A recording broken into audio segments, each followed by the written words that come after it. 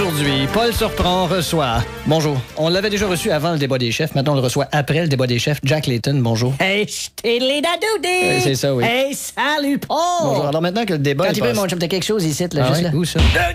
bon, euh, elle est bonne. Bon, donc, dans le, dans le débat. Hey, j'ai apporté mon accordéon! Ah oui, ben, peut-être plus tard. Je vais te chanter une chanson en français. OK, mais rien de grivois. Hein? Vous, était à la radio, vous n'avez rien chanté de grivois, là. Ben non, c'est une chanson de petit bonhomme sur le bord du chemin qui voit passer un train, bon. qui cueille des fleurs pour son ami de cœur. On vous écoute.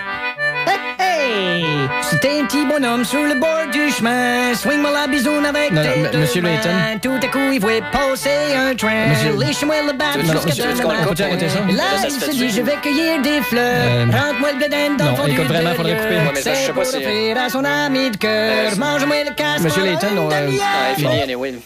Bon, merci, Monsieur Layton. Hey, que c'est le fun d'avoir du plaisir agréable. Oui, on va- les dadés. Est-ce qu'on Hey, peut- y a-tu de la bière ici? Euh, Ben oui, oui. le petit frigidaire. Ouais, servez-vous. Tiens, je t'en ouvre une, Paul. Euh, bon, OK.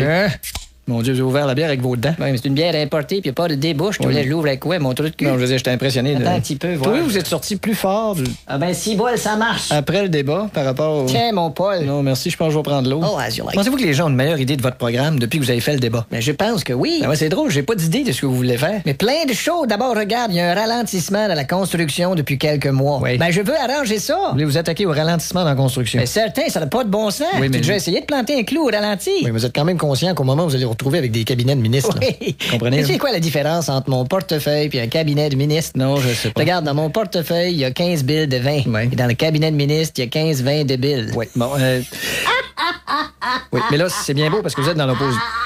Vous étiez jusqu'à maintenant dans l'opposition, mais on sait pas ce que vous allez faire une fois au Comment pouvoir. ça, vous savez pas? Ben là, vous êtes là pour l'instant avec votre. Oui. Votre allure de. de, de- de- oui, oui, c'est bon. Voyons. De valet de parking du Ritz-Carlton. Voilà, mais rendu au pouvoir, c'est pas la même chose. là. Au pouvoir, je veux régler les affaires de la culture. Ben oui, ça n'a pas de bon sens d'enlever de l'argent à la culture. Oui, c'est facile à dire. mais- Sans argent, Ariane Moffat devient Ariane m'a rien fait. Bon, mais au niveau des Le fameux duo Pascal-Picard Oui. chanteront plus. Ni. Pascal, ni Carl. Oui, mais monsieur Sans argent, Jean le loue plutôt que de l'acheter. Qu'est-ce que vous pensez, par exemple, de l'idée de Stéphane Dion en ce qui concerne les taxes sur les Pour usines? ça, je comprends pas. Pourquoi? Quand tu comptes une joke, c'est parce qu'elle est bonne. Oui, mais- Puis quand tu recomptes une autre joke, c'est parce qu'elle est bonne. Non, euh, Mais Pourquoi taxer le carbone? Je pense qu'il veut taxer le carbone. C'est ça que je dis. Bon, je peux pas m'empêcher de vous poser la question. Oui. Qu'est-ce que vous diriez à Julie Couillard? Oh boy, oh, je lui dirais, euh, n'a Ah ouais? n'a pas de bon sens ce que tu fait. Ah, Euh, OK.